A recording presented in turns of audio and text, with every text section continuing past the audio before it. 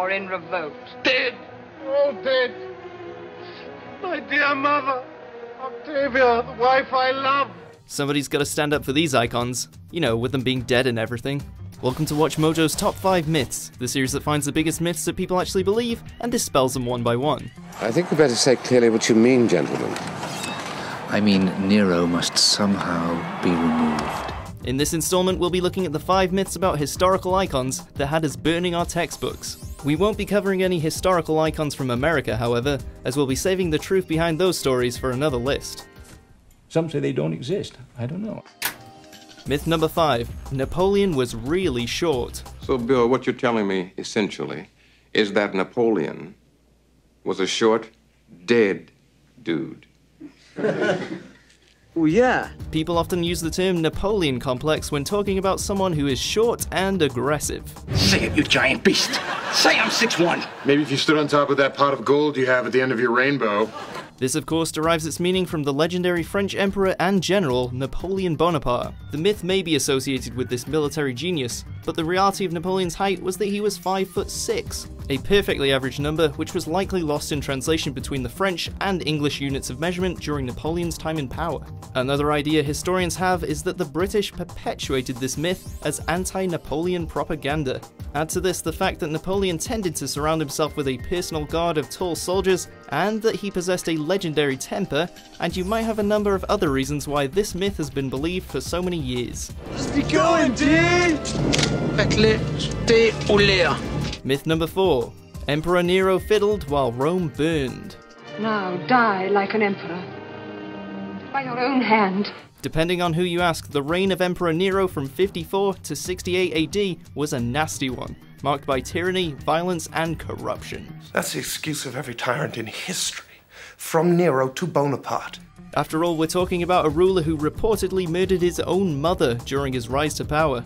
There is one dastardly deed which Emperor Nero cannot be saddled with, however, and it's the one that everyone remembers his reported fiddling while Rome burned. Our family is in financial ruins, and you, you play the flute while Rome burns. Nero fiddled whilst Rome burned. Besides the fact that the fiddle wouldn't be invented until hundreds of years after Nero's reign, the truth behind this tall tale is that he wasn't even present in Rome when the flames started. Although there are certain historians that have chronicled that the emperor might have sung during the Great Fire of 64 AD, Nero actually assisted in fighting the blaze upon his return to Rome, and even opened up his palace gardens to those displaced in the chaos. So he wasn't all that bad. Well, he was, but still. Is then the end of Nero? Myth number 3 Catherine the Great of Russia died while having sex with a horse. I know you're tired of loving, of loving with nobody to love. This nasty rumour that Catherine the Great of Russia expired while engaging in equine coitus was likely spread after Catherine's death by her enemies, including possibly her brother, with whom she had a strained and difficult relationship.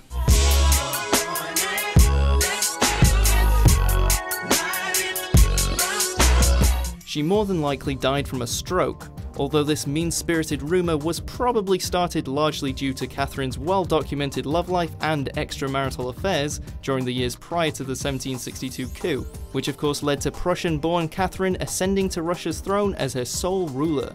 You just said you had sex with a horse. No! Horse! Not horse! Horse! Other rumours of her death, such as one which claimed Catherine perished while sitting on a toilet, failed to take root, but this one, for some reason or another, lives as one of history's great myths. It's, it's a woman f***ing a horse. We get there, and you know we think it's going to be awesome, and it is not as cool as it sounds like it would be, man. It is. It's, it's, it's kind of gross. Myth number two: Marie Antoinette was famous for saying, "Let them eat cake." Cake, she says, just like Marie Antoinette. The phrase let them eat cake is often attributed to French ruler Marie Antoinette to describe her indifference and ignorance to the plight of the poor. And when they went to the queen to tell her her subjects had no bread, do you know what she said? Let them eat cake. Surprise, surprise, there's actually no evidence that Marie Antoinette ever said such a thing in the years prior to the French Revolution. One day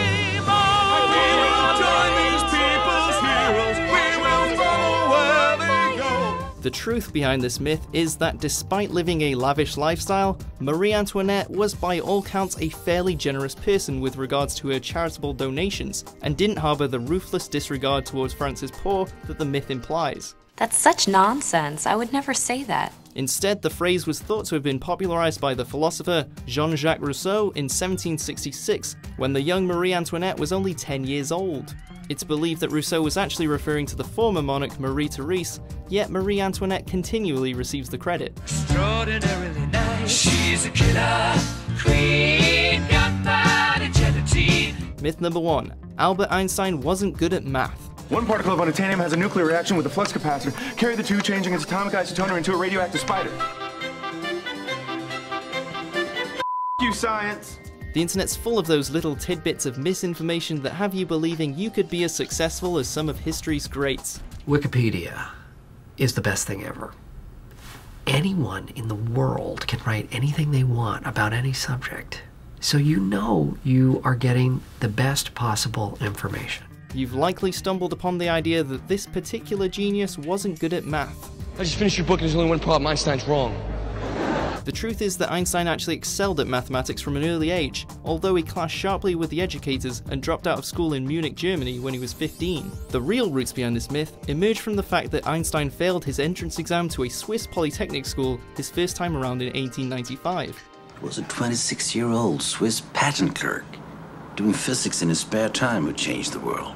Can you imagine if Einstein would have given that up just to get drunk with his buddies in Vienna every night? The 16 year old Einstein passed the exam's math section, but failed out of botany, language, and zoology before finally being accepted into the school the next year. So sorry to say, Timothy, but you do have to do your math homework, and you better do it well. So, which of these myths did you believe? Ah! What? Is what Google searchers are asking about historical icons. Did Einstein have a twin brother? Did Napoleon do good things? Did Catherine the Great breed the serfs? For more fiddle fiddling top 10s and horseplay top 5s, be sure to subscribe to WatchMojo.com. What will they do to me? They will kill you. But they won't get in.